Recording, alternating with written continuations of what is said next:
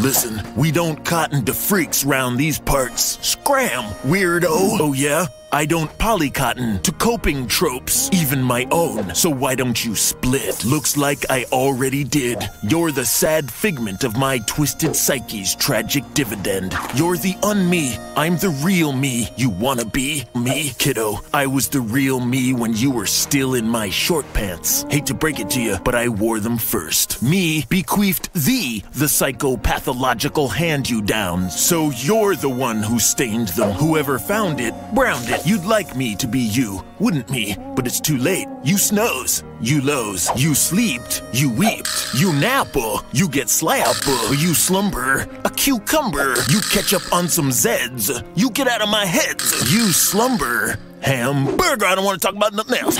Listen, this psyche is not big enough for two metaphysical seekers. You couldn't seek your way out of a cardboard bag. Yeah, I know, because it would be an egg. Ooh, this guy might be better than me. You're right, I am better than me. Look, buddy, know when you're defeated. Accept your defecation. No thanks, I'm full, because I eat pussies like you for breakfast. Look at you, you look so superficial, you probably judge things by their physical appearance. Oh yeah? Your mom's so shallow, she probably thinks this quip is about her. You're about as deep as a bowl of soup, and your tongue is about as sharp as a soup spoon. Hey, say what you want about me, but lay off the soup. If you love soup so much, why don't you marry soup? Cause I'm already married to justice. Yeah, only a blind girl would marry you. I know everything you're gonna say, and I know everything you're gonna don't.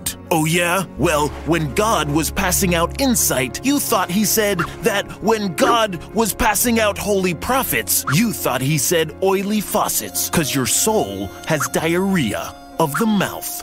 Faucet. Are you so dumb you even answer rhetorical questions? I don't know. Do you? We can play this game all night. First,